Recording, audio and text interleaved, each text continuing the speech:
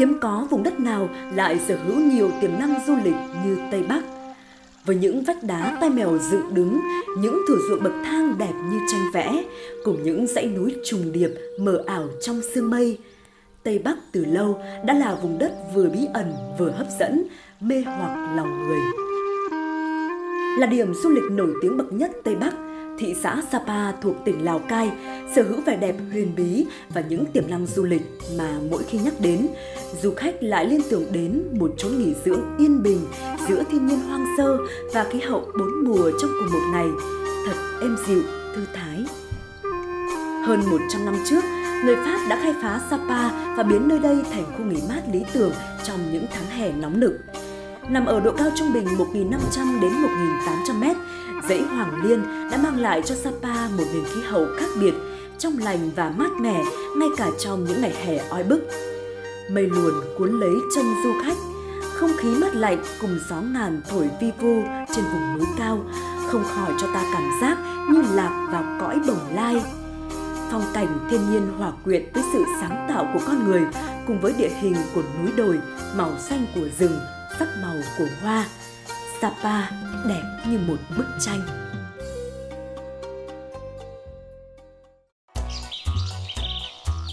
Đến với Sapa, ngoài sự sảng khoái và dễ chịu do thiên nhiên và khí hậu mang lại,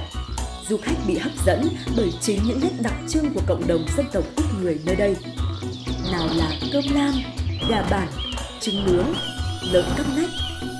hay đặc biệt là món ẩm thực truyền thống thắng cố của người Mông khi đã ăn một lần là nhớ mãi. Nào là rượu nếp nương thơm nồng, tiếng khèn hoa mê hoặc, tiếng đàn môi ra diết, hay những điệu xoay váy xòe thổ cẩm đầy màu sắc của những chàng trai cô gái vùng sơn cướp. Sự tổng hòa giao thoa của các nền văn hóa đã kiến tạo nên một Sapa đa sắc màu, đầy ắp các trải nghiệm thú vị khiến du khách không thể quên khi đã một lần đến đây. Bất cứ du khách nào đến với Sapa mà chưa đặt chân tới núi Hàm Rồng, Thác Bạc, Cầu Mây, Vườn Đá Cổ, đỉnh Phan Xipang hay các bản suối hồ, Cát Cát, Tả Phìn thì chưa nói là đã biết Sapa. Đặc biệt, đỉnh Phan Xipang, nóc nhà Đông Dương huyền thoại là điểm nhất định phải đến trong đời.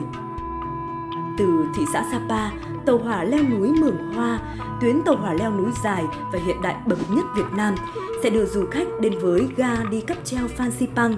để bắt đầu một hành trình khám phá Tây Bắc từ trên cao thật độc đáo. Khoảnh khắc ấy, khi những cơn gió thổi làm tan sương lạnh, ánh nắng lên cao, bầu trời trong xanh, mây trắng vờn bay trên đỉnh đầu. Từ nóc nhà Đông Dương nhìn xuống là mây trời cuồn cuộn như thác đổ, là những mái chùa cong cong lúc ẩn lúc hiện trên đỉnh Phan Xipang, là cảm giác như đang bồng bềnh trôi giữa chốn bồng lai tiên cảnh, là niềm tự hào đẹp quá Việt Nam ơi! Những trải nghiệm thiên nhiên và văn hóa tuyệt vời đã mang lại phần hồn cho bức tranh Thủy Mạc Sapa, khiến vùng đất này suốt trăm năm qua vẫn là điểm đến hấp dẫn nhất nơi miền Tây Bắc Việt Nam.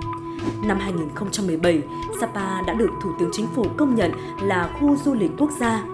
Nếu như năm 2015, huyện Sapa đón 1 triệu lượt du khách, thì đến hết năm 2019, con số này là hơn 3,2 triệu lượt và dự kiến năm 2020 sẽ đón khoảng 4 triệu lượt.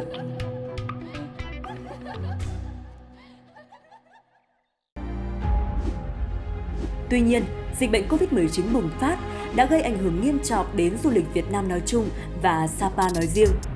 Thị trường du lịch Sapa thời gian qua đã gần như tê liệt khi lượng du khách sụt giảm tới 50% trong tháng 3 và 100% trong tháng 4. Nhà hàng đóng cửa, các khu du lịch ngừng hoạt động, thị trấn trong xương chưa bao giờ vắng vẻ, lặng lẽ đến thế. Thôi thúc bởi ước muốn sớm được thấy một Sapa nhộn nhịp du khách trở lại – khi dịch bệnh được kiểm soát tốt tại Việt Nam và giãn cách xã hội chấm dứt, Sapa đã ngay lập tức tái khởi động các hoạt động du lịch nhưng vẫn đảm bảo thực hiện hiệu quả các biện pháp phòng chống dịch theo đúng chỉ thị 19 của Thủ tướng Chính phủ. Các khu du lịch như Sun World Fansipan Legend là một trong những điểm đến đầu tiên đón khách trở lại, liên tục phát loa và dán thông báo, đưa ra các chỉ dẫn cụ thể thiết thực theo khuyến nghị của Bộ Y tế. Toàn bộ nhân viên tại các cơ sở kinh doanh du lịch, lữ hành, lưu trú đều đeo khẩu trang. Dung dịch diệt khuẩn được đặt tại những khu vực công cộng. Du khách cũng được yêu cầu giữ khoảng cách tối thiểu 1 mét các cabin cáp treo, các công trình trong khu du lịch Sun World Fansipan Legend cũng thường xuyên được phun thuốc khử trùng để đảm bảo an toàn cho du khách. Sapa cũng là địa phương tiên phong tại Tây Bắc nói riêng cũng như miền Bắc nói chung, triển khai một chương trình kích cầu du lịch rộng khắp do Ủy ban Nhân dân thị xã Sapa phối hợp cùng Hiệp hội Du lịch Sapa và Công ty trách nhiệm hữu hạn dịch vụ du lịch cáp treo Fansipan tổ chức. Theo đó, đồng loạt các đơn vị lữ hành, lưu trú, vận chuyển trên địa bàn thị xã Sapa, các điểm đến tham quan du lịch như khu du lịch Sun World Fansipan Legend áp dụng giảm giá dịch vụ từ 30 cho đến 60%. Việc thực hiện các chương trình kích cầu à, lúc này là hết sức cần thiết để từng bước làm ấm lại thị trường du lịch à, Sapa nói riêng cũng như là Việt Nam nói chung, giải quyết được công an à, việc làm à, tiếp tục phát triển ngành à, à, du lịch à, không khói à, của Việt Nam theo như tinh thần chỉ thị 19 của Thủ tướng Chính phủ. Ngay sau khi chương trình được kích hoạt sáng 30 tháng 4 năm 2020, tính đến nay đã có gần 70 doanh nghiệp du lịch địa phương đăng ký tham gia với mức giảm giá từ 30% đến 60% với cam kết giữ nguyên chất lượng phục vụ cũng như thực hiện nghiêm các nguyên tắc phòng chống dịch bệnh COVID-19. Mức giá giảm trên sẽ được các khách sạn, hãng xe áp dụng trong suốt 2 tháng 6 và tháng 7 năm 2020. Là một doanh nghiệp mà về kinh doanh về lữ ờ, hành, khách sạn và nhà hàng. Đợt này chúng tôi cũng tổ chức chương trình kích cầu du lịch với giảm giá 50% cho du khách khi lưu trú tại khách sạn nhằm à, cùng đồng hành cùng du khách trong thời điểm hậu à, dịch bệnh khi để à, cùng nhau phát triển du lịch Sapa. À, bên cạnh cái việc à, giảm giá 50% cho ờ, khách hàng thì bản thân à, doanh nghiệp cũng đảm bảo những chất lượng dịch vụ đã đề ra cũng như à, đảm bảo tốt cái công tác phòng chống dịch theo chỉ thị của Thủ tướng Chính phủ cũng như của thị xã Sapa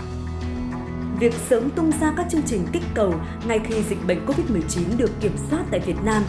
Ủy ban nhân dân thị xã Sapa, Hiệp hội Du lịch Sapa cùng các doanh nghiệp du lịch tại địa bàn đã cho thấy một tinh thần nỗ lực cao trong việc phối hợp để nhanh chóng tái khởi động và phục hồi ngành công nghiệp không khói của địa phương. Là chúng tôi muốn là à, toàn dân Sapa,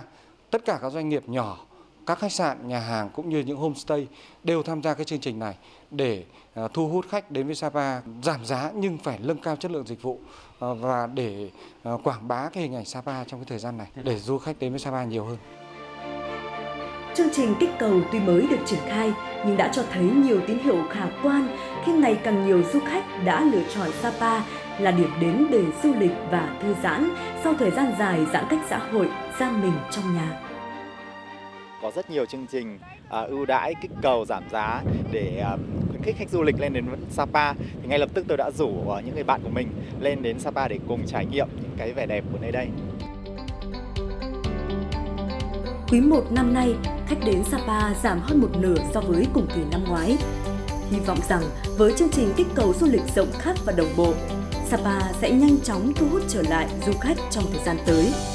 bởi tháng 5, tháng 6 cũng là mùa đẹp nhất nơi đây với thời tiết nắng trong, hoa hồng nở rộ, dù bậc thang mùa nước đổ. Sapa vẫn luôn đẹp, vừa dịu dàng, vừa rực rỡ với những trải nghiệm khiến du khách khó có thể chối từ. Nhưng Sapa sẽ không thể đạt được những mục tiêu kích cầu nói trên nếu không có sự đồng hành và thống nhất cao của các doanh nghiệp tại địa phương, nếu thiếu đi sự giúp đỡ của quý vị các đơn vị lữ hành đã nhiều năm chung tay cùng chúng tôi đưa Sapa thành điểm đến hút khách. Các nhà báo tâm huyết đã không ngừng quảng bá hình ảnh Sapa đến với du khách khắp ba miền và cả du khách quốc tế.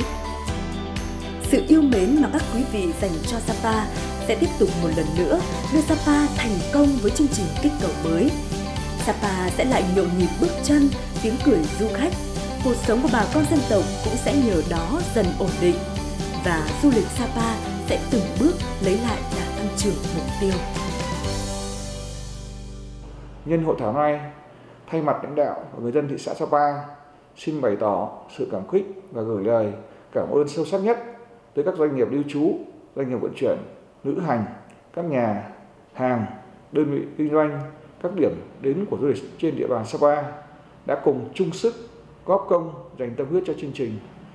Cũng xin gửi tới các đơn vị lữ hành, các anh chị nhà báo có mặt tại sự kiện hôm nay sự trân trọng, biết ơn, trích những tình cảm, sự hỗ trợ, đồng hành của anh chị đã dành cho du lịch Sapa. Nhờ sự đồng hành, quảng bá đó mà Sapa có được những thành công đáng khích lệ trong những năm gần đây. Qua đây, chúng tôi cũng mong tiếp tục nhận được sự ủng hộ, sát cánh của anh chị trong thời gian tới vì một Sapa đẹp hơn, sung túc hơn và tỏa sáng trên bản đồ du lịch Việt Nam và thế giới, xứng đáng là trọng điểm của quốc gia mang tầm quốc tế.